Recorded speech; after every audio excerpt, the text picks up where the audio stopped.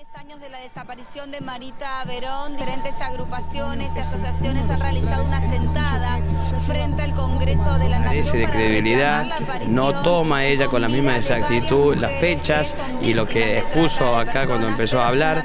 eh, y por lo tanto yo creo que esta chica a María de los Ángeles Verón. A 10 años de esa declaración lo ha confirmado acá, así que nos parece un testimonio extraordinario. el expediente judicial más importante sobre de investigación acerca de la trata de personas en el país. Vemos el resumen. Los 13 imputados ayer presentaron nulidades. Ellos remarcan que hubo falencias en la instrucción de la causa, falencias investigativas. Aparentemente la joven había escapado de una fiesta sexual a la que la obligaron de una red de la prostitución de la que no ha podido. Una ex prostituta cuyo testimonio fue conseguido por sus padres de Verón contó que la chica fue vendida como proxeneta en la Algunos testimonios aseguran que Verón tuvo un hijo con uno de sus captores, pero tampoco se sabe nada. me trataban de loca, de que yo veía muchas novelas, películas, que mi hija era prostituta, que yo era prostituta. Mi hija sabe que yo la voy a buscar hasta que la encuentre. Yo no, no creo hasta que no, no vea. Eso ya lo tengo muy claro en mi mente y en mi corazón. Marita desde chiquita este, es como, como Mica, una niña alegre que le, gusta, que le gustaba cantar, que le gustaba dibujar, que le gustaba, no se quedaba quieta ni un instante. Eh, yo creo que en eso también este, tanto Marita como Micaela, mi nieta, se parecen a mí, porque yo también no me puedo quedar quieta. Cuando a mí me, me pasó esto con mi hija, eh, me agarró un ataque de desesperación que empecé a gritar, a llorar, no sabía, no sabía qué hacer, eh, qué pasaba, porque yo no sabía que existía la trata de personas, yo buscaba y buscaba a mi hija, pero con una desesperación y una angustia, un presentimiento malo, pero no sabía qué, ¿me entendés? Esas cosas que uno siente de madre.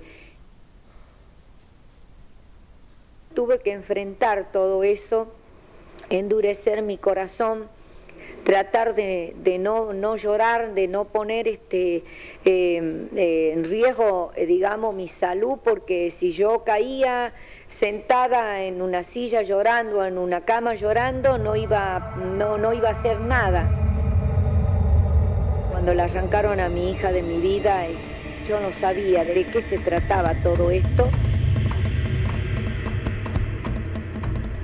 Antes nadie hablaba de estas cosas.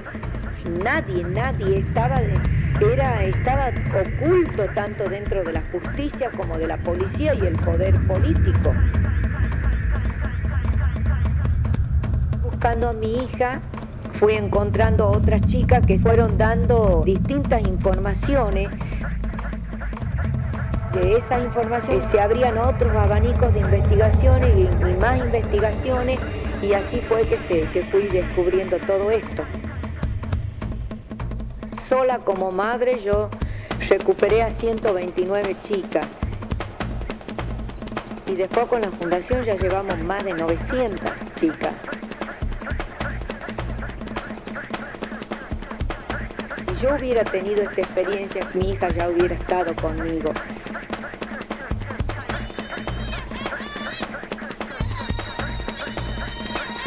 A medida que fue pasando los años, que fue mi lucha, mi lucha, sembrando semillitas por todos lados, denunciando en cada provincia, en cada lugar, encontré aliados que no son corruptos y que me ayudaron.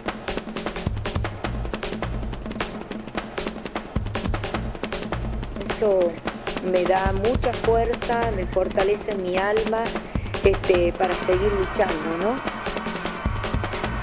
Cuando vean algo, algo relacionado a que una, a una niña, una mujer esté en riesgo o movimiento, este, denunciar, este, denunciar este, en forma anónima, porque ah, este, las personas por ahí no se animan en denunciar a donde ellos ven que hay prostíbulos encubiertos como casa, departamento, eh, porque no solamente en whiskería, bar verdaderos prostíbulos este, las tienen a las chicas.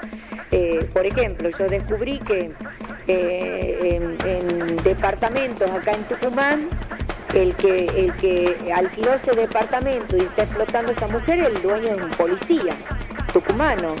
Entonces, esas cosas, ¿no? Hay que denunciar, hay que ayudar a estas chicas para que sigan adelante. Ella también tiene sus hijos, su familia, este, ayudar en eso, en lo que, en lo que puedan colaborar, digamos, de la parte humana o, también en lo material, ¿no?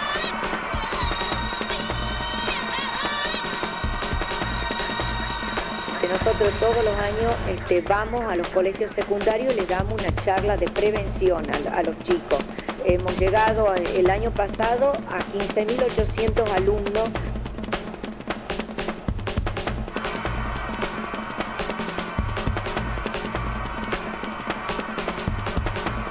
Yo siempre digo que de la justicia divina de Dios nadie se salva. Yo soy una persona muy creyente y, con Mica le pedimos a Dios todos los días de nuestra vida que nos dé luz, que todos los días este, nos enseñe el verdadero camino para que podamos llegar este, con el paradero de Marita.